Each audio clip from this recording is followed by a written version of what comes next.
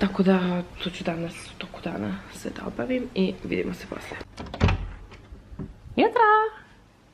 Jel te probudila bušilica? A? Jel te bušilica? Ma jebe mater više, ima da im bacim bombu. Zašto ne probudiš ti poljubci već zagredajima?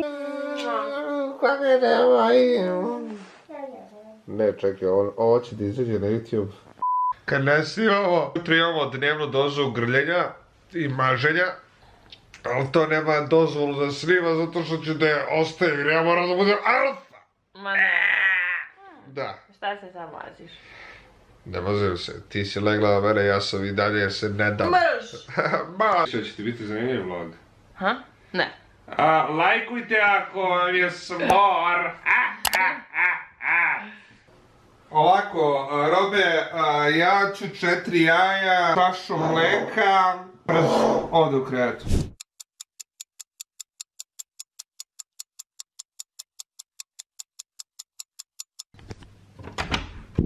Gotov je ručak.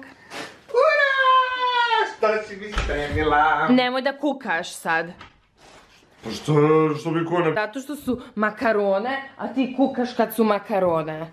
Što kukam kad su makarone? Kukaš. Pa kukam kad su makarone ako imaju ukus ko Ja mislim da je ovo dobro. Možda bi malo više trebalo da ima mesa i ovoga, ali moram ja da jedem. Ne možeš sve ti da jedeš. Imam veliki poriv da te ostavim ponekad kad se ovako ponaš prema meni. I to je bilo to! Ako ovo dobro izgleda, bravo, malo. Vruće je? Pa jok nije, puši se ovdje, hoće da me ubije.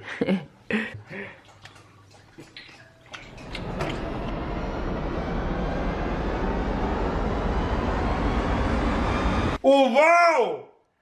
Jebote! Ništa bolje nisam jeo! Obi! Znaš koliko je dobro!